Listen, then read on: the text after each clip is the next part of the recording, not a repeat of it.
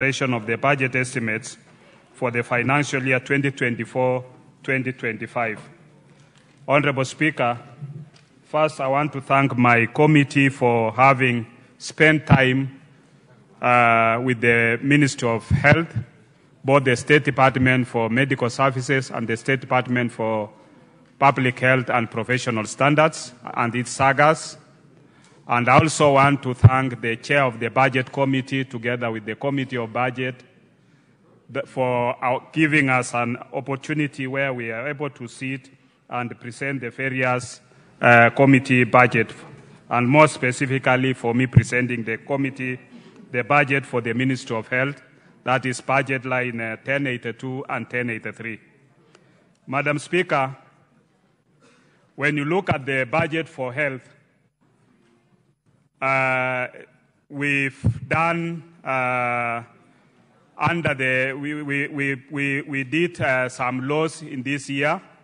Among them is the digital health law, the social health insurance law, the primary health care law, and the facility improvement law. Madam Speaker, under the, the social health insurance law, in this budget, we've provided 1.5 billion for emergency, chronic, and critical illnesses. We've also provided 4 billion for primary health care fund, meaning that our universal health care is now ready for rolling down because the other contribution for the, social, for the uh, social health insurance uh, authority will be people's will be contribution from members and also contribution from the public.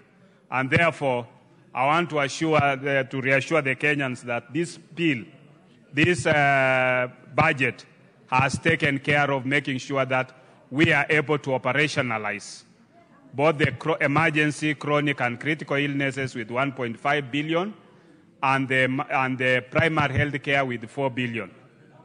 Also, in this uh, budget, We've provided money, two billion for the Linda Mama program. That is to make sure that our women, when they go and deliver, they are able to be taken care of as we transition to a more comprehensive universal health care. Honorable Speaker, under this law, under this uh, budget, we've also been able to, to make sure that the National Cancer Institute is able to be operationalized because one of the biggest challenges in this country has been the issue about addressing the issues of cancer. And therefore, we provided 100 million to operationalize the National Cancer Institute. We've also provided 80 million to the National Cancer Institute to make sure that the established regional cancer institute centers are able to be functional. We have regional cancer center in uh, Mombasa, we have one in uh, Garissa, we have in Nakuru, we also have in Kisii, which is uh, in the process of being uh, built and it will soon be operationalized. And this will address matters about cancer within our country, in addition to the established Kenyatta National Hospital, Moi Teaching and Referral Hospital, and the Kenyatta University Teaching and Referral Hospital. In this budget, Honorable Speaker, we've also provided Kenyatta National Hospital with 450 million to be able to buy another cancer machine, the LINAC machine for radiotherapy. Because when you visit Kenyatta National Hospital with one machine which is now which is functioning, we have many patients who are waiting. That machine is working without stopping and the patients are being put on radiotherapy day and night, 24 hours. And that exhausts, that makes sure that we have many patients who are on the waiting list. And this makes it very pathetic, very discouraging for many patients who depend on government facilities for treatment. And therefore, by Parliament providing 450 million to Kenyatta National Hospital to buy another LINAC machine for this financial year, then we hope that Kenyatta National Hospital will now reduce the waiting time for patients who are waiting to, for radiotherapy within Kenyatta National Hospital.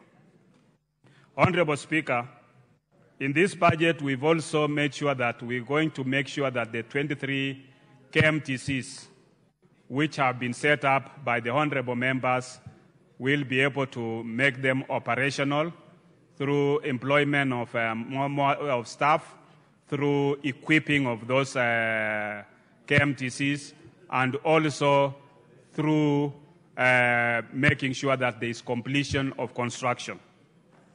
Madam Speaker,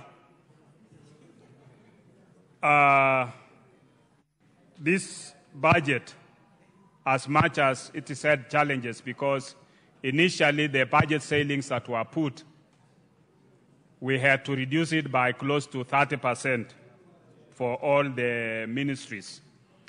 And that, I want to uh, say that uh, the ministry should not worry because if the government is able to meet its target in terms of revenue collection, then what it means is that when we will have another supplementary one to address the various caps and challenges that we'll be able to face in the course of the financial year. With those few remarks, Honorable Speaker, I want to support. Thank you.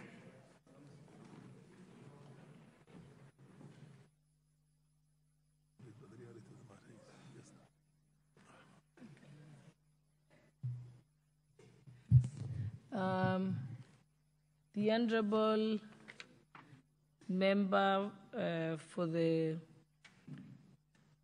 yeah, Honorable David Kangogo, Member for Marakwet East. Honorable Kangogo. Okay, he's busy. Uh, he's not ready. Honorable Tongoyo? No, your time passed. Proceed, Honorable Tongoyo. Thank you, Honorable Speaker, for giving me this opportunity also to add my support uh, to the Budget and Appropriation Committee for a well done job.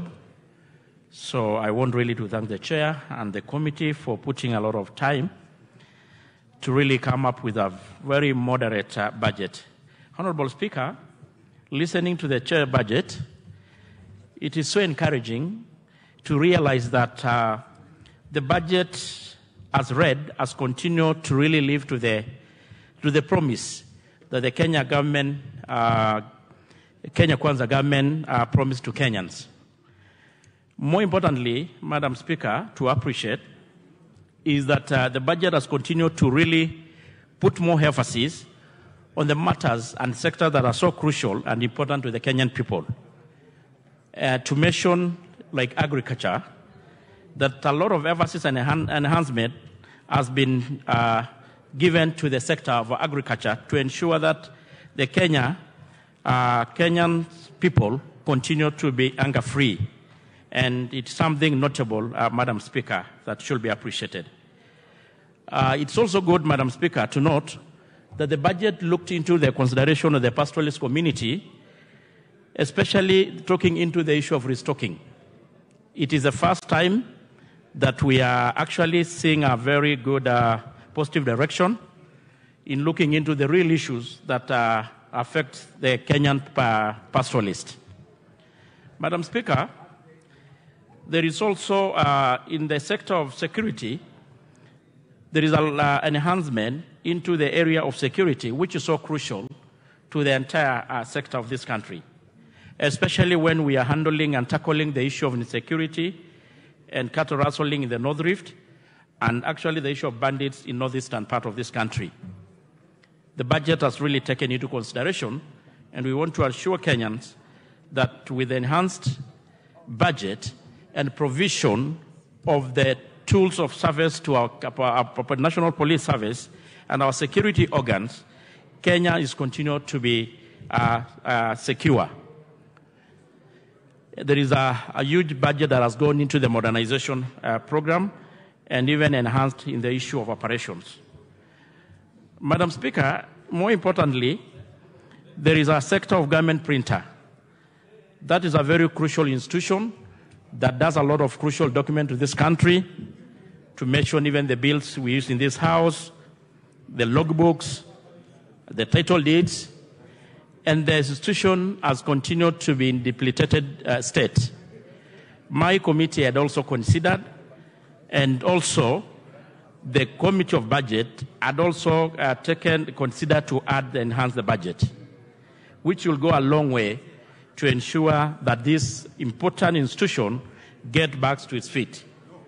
Madam Speaker, in the budget, again within the ministry, there is Mbagathi National, Hosp- uh, National Police Hospital that has been ready and equipped for the last three or four years, but has never been able to be used by our security and police officers. And uh, in the budget, there is a substantial amount allocated to it, and it is going to help a big deal to let our police officers get the much needed health services.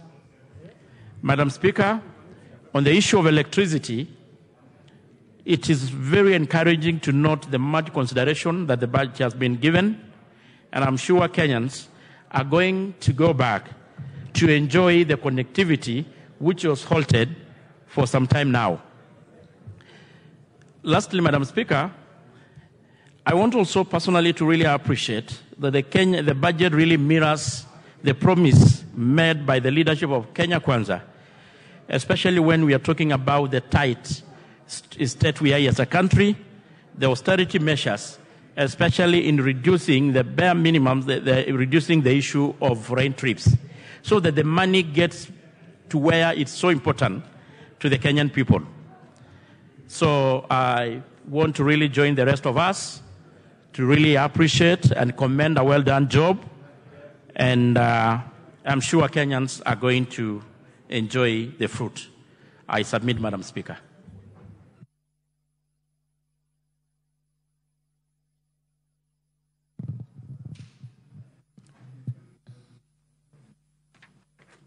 The Honorable, the Honorable Member for House, the Honorable Member for, the Honorable Johanna Ngeno, Chairperson for Housing and Public Works. Thank you, Madam Speaker, for also allowing me this opportunity to also make uh, my contribution towards this uh, um, uh, motion. Madam Speaker, I wish to state clearly that I support the motion. And um, I know very well, Madam Speaker, that uh, this is, these are annual estimates for the financial year 24 25